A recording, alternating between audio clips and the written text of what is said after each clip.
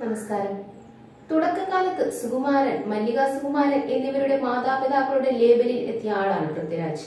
ഇന്ന് സ്വന്തം അധ്വാനത്തിലൂടെ പൃഥ്വിരാജ് എന്ന നടനും സംവിധായകനും നിർമ്മാതാവും എന്നീ നിലകളിൽ എത്തിയിരിക്കുകയാണ്. നന്ദനം എന്ന ചിത്രത്തിലൂടെയാണ് ആദ്യമായി മലയാള സിനിമയിൽ അരങ്ങേറ്റം കുറിക്കുന്നത്.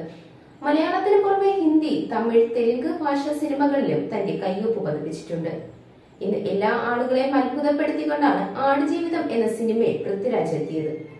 ഇതിന്റെ ഭാഗമായി എത്തിയ പ്രൊമോഷനിലാണ് താരം തന്റെ പ്രതിഫലത്തെ കുറിച്ച് പറഞ്ഞത്.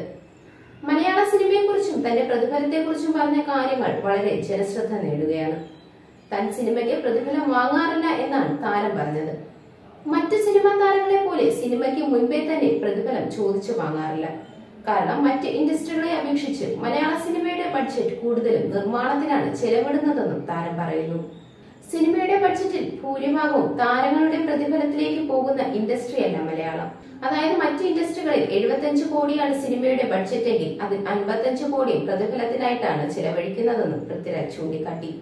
താരം തന്റെ സിനിമ വിജയിച്ചതിന് ശേഷം അതിൽ നിന്ന് ലഭിക്കുന്ന ലാഭത്തിൽ നിന്നുള്ള വിഹിതമാണ് വാങ്ങാറുള്ളത്.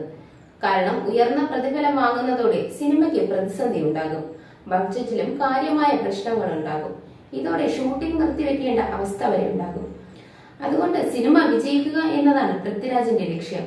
സിനിമ നന്നായി ഓടിയില്ല എങ്കിൽ തനിക്ക് ലാഭമൊന്നും കിട്ടുകയില്ല. ഒരു രൂപ പോലും കിട്ടാത്ത സാഹചര്യം വരെ ഉണ്ടായിട്ടുണ്ടെന്നും താരം പറഞ്ഞു. അതേസമയം ലാഭമുണ്ടായാൽ പ്രതിഫലത്തേക്കാൾ കൂടുതൽ കിട്ടാറുമുണ്ട്. മലയാളത്തിൽ മാത്രമല്ല ബോളിവുഡിൽ അക്ഷയ് കുമാറും ഇത്തരത്തിലാണ് പ്രതിഫലം വാങ്ങുന്നത്.